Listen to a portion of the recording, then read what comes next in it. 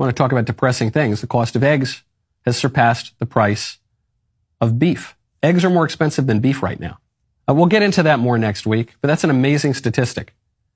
Makes us feel like we're becoming a third world country. Our trains don't run. We've got poison seeping out everywhere. We can't afford food. People are depressed. The average life expectancy is decreasing because of deaths of despair. We don't have a functioning border. Whatever we are doing right now, we, are, we always want to project our power overseas and say we're going to solve all the world's problems and we need to go spread uh, democracy around the world or whatever. How about we spread a flourishing society here at home? We are becoming like a third world country.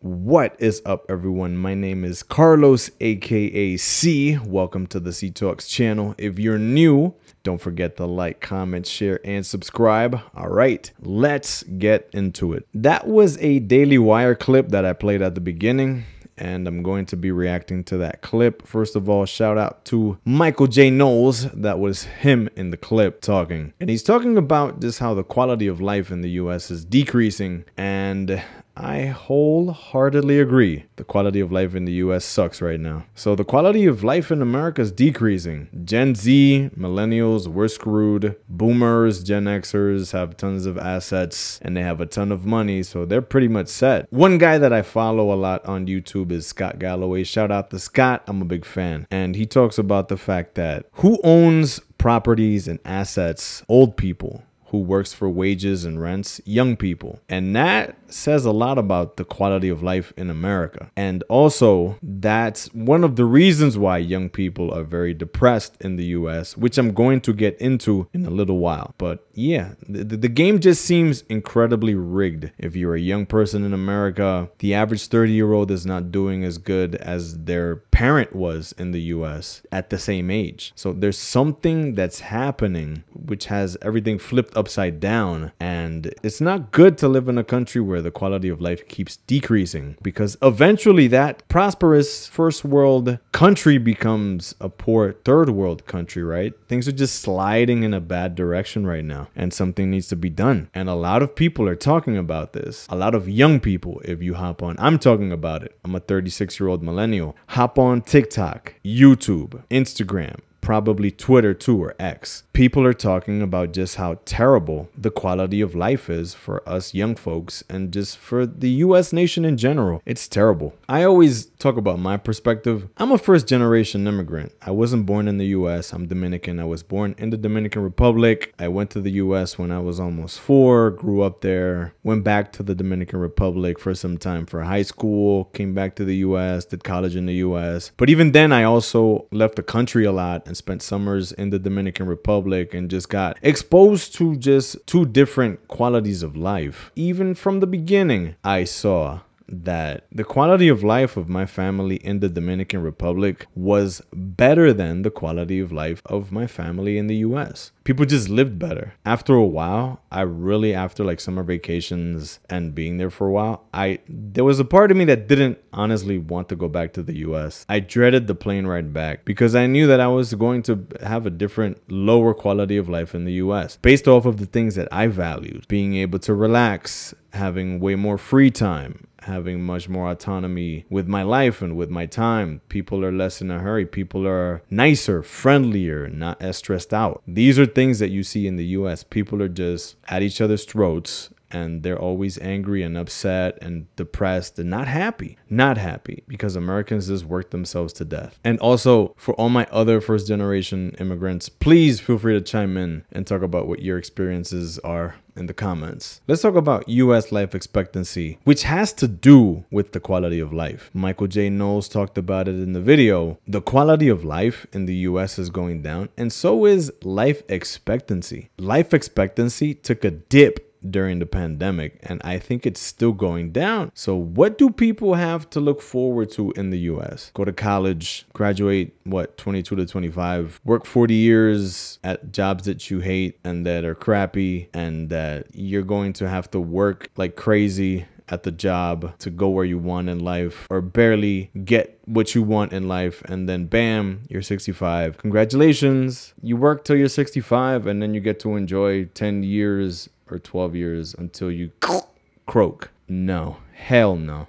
I'm not doing that. A lot of us young people are saying no to this and we're just we're just not participating and just not going to do that because no, I'm not doing that. Michael J. Knowles says the US is becoming like a third world country. I agree, and I've seen other videos on this particular perspective that the US is becoming like a third world country. The rich are getting richer, the poor are getting poor, the middle class is almost non-existent. Crime is going up. People are incredibly polarized and always at each other's throats. There's a lot of conflict happening uh, all the time. It's the US is a very combative nation. Who really is getting along in the US? It's not that many people. People are incredibly unhappy. Let's talk about depression. Michael says people are depressed. I did some research on this, and as of 2023, depression rates reached a new high in the US. Who were the groups who were most depressed in the US? Young adults and women, to nobody's surprise. Let's talk about food. Michael talked about food. The two most costly items in the average budget are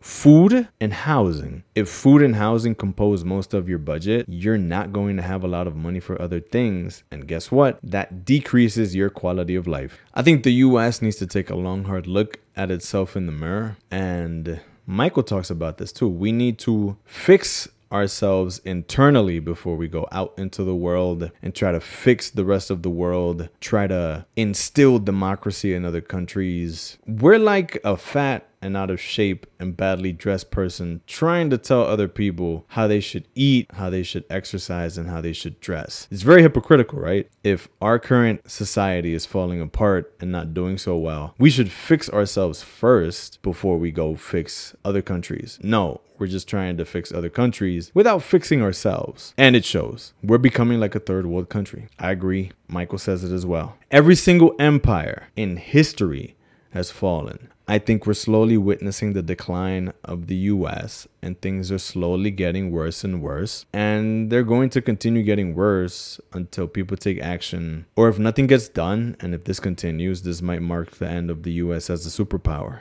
One factor that I think that contributes to a very low quality of life in the US is US debt culture. People are so comfortable with debt in the US. People acquire debt when they go to college. People acquire debt when they purchase a car. People acquire debt when they purchase a home because you really can't afford these things cash. I argue that you'd probably have to live with your parents and work a middle class job probably 10 years before you can buy a, a house cash. That's a long time. Depending on when you start. If you start 22, 23, you're set. But how many people really get that head start in life? It's not that many. Debt is one of the reasons why Americans are incredibly unhappy. And personal debt, credit card debt went up to I think its highest level last year and I think this year as well. So people are just because of inflation and how expensive things are, people are taking out loads of debt. They have a ton of debt. So that's just making the US a not so happy place and decreasing everybody's quality of life. So my final thought is this. No nation's perfect, right? Every nation has its pros and cons, but statistically speaking and I think just overall, I think America was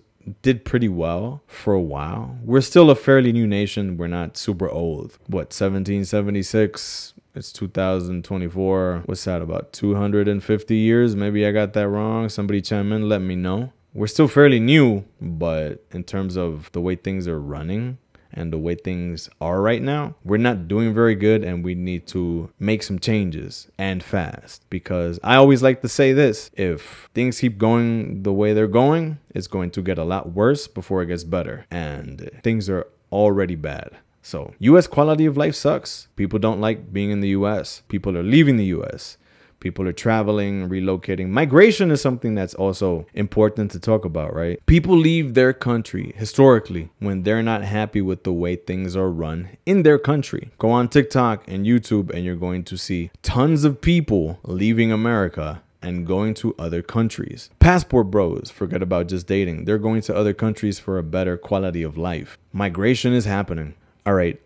If you liked this video, you'll also like this other video up on the screen. I will be back with more videos soon.